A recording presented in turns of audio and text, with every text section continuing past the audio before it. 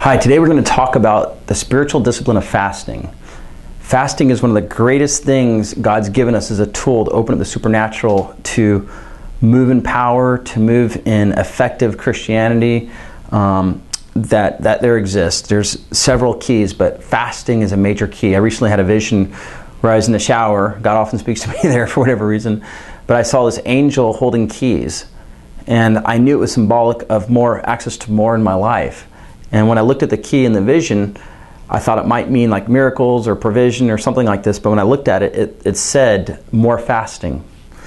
And so I'm like, okay, so a key is what you use to open the door into a realm that maybe you're believing for. So I've been asking God for increase in the supernatural, increase in miracles, increase in the prophetic anointing as a prophet. I want to develop that more and more and more every day, get more sharp, more keen. Um, and so when God gave me this vision, it really resonated because I know fasting and the power of fasting, the rewards of fasting are so great. And things in the kingdom are free, but they don't come cheap. So we need to be okay with, with paying the price and walking the pathways that the ancients walked with with God to open up supernatural pathways, to have a life that's full of the glory, full of the manifestation of the kingdom, and um, just really full of Jesus. Jesus fasted more than anybody we probably know of. He loved fasting. Um, maybe didn't always feel good, but he actually he used it a lot. And um, there's one statement in scriptures where he says, "I have food you do not know of." It's to do with my Father in heaven. He learned to not pull sustenance just from food or physical food.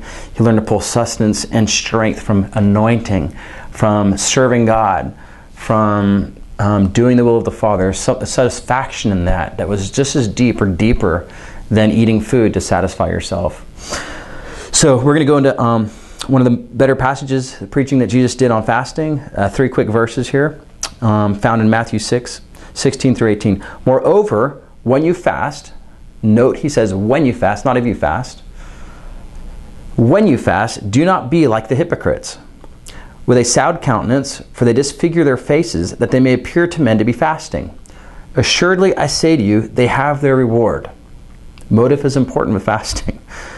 But you, when you fast, anoint your head and wash your face, so that you do not appear to men to be fasting, but to your Father, who in the who is in the secret place, and your Father who sees in secret will reward you openly.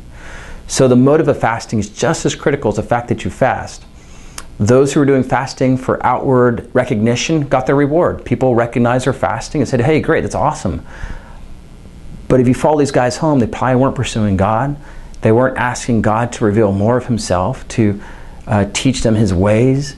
They were just doing it as a sign that they were spiritual.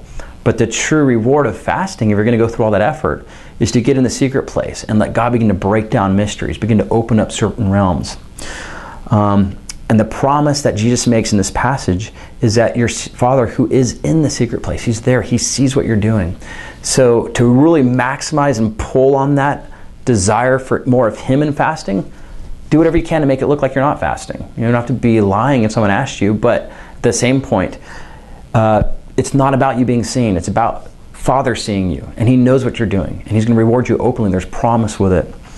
Um, when you go into the following verses 2, it's interesting because the Lord says in verse 19, we'll hit this real quick. Do not lay up for yourselves treasures on earth where moth and rust destroy and where thieves break in and steal. Verse 20, but lay up for yourselves treasures in heaven where neither moth nor rust destroys and where thieves do not break in and steal. It's interesting, he goes right into that right after he talks about fasting. And the reason I believe he does is one of the first challenges you get in fasting is the feeling of does this mean anything? Does this fasting, is it in vain? Because when I eat, I know I get that. When I have a treasure I can hold, that's a substance, that's a treasure I can hold. But when I'm fasting, it's like if, I'm not in faith about it, it seems like I'm sowing to the wind. I'm denying myself for what? But the promise is that you're storing treasure up in heaven and you're beginning to align your interpersonal motivations, your inner uh, pathway with supernatural realms that are eternal. So do that and know that you're, you're going to work miracles. Um, one reason why you'd want to fast, again, is more intimacy with God. It's not an arm twisting event, it's a posture of even allowing yourself to be a little bit weak so that you can pull on the Spirit. The Lord told me when I need to learn to fast, He was telling me you should start calling it feasting, actually. Because if you go into a mindset of fasting, meaning withdrawal, you can even put that withdrawing mindset on your time with God. But when you call it feasting, even though you're not physically feasting, then you're expecting abundance. You're expecting a lot of provision coming your way. So when you pull away with the Lord in a feast, you're going to feast on Him.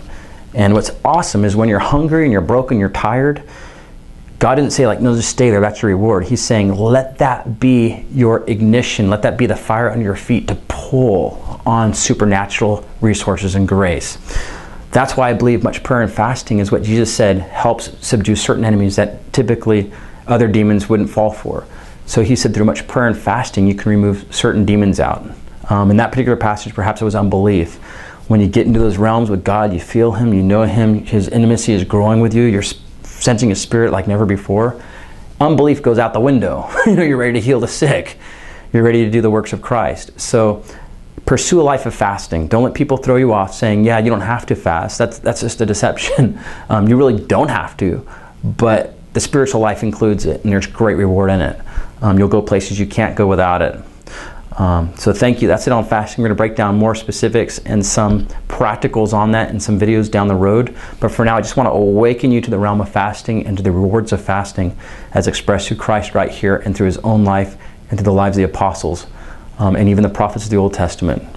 Wherever you see fasting, you see power released and great breakthrough. So God bless.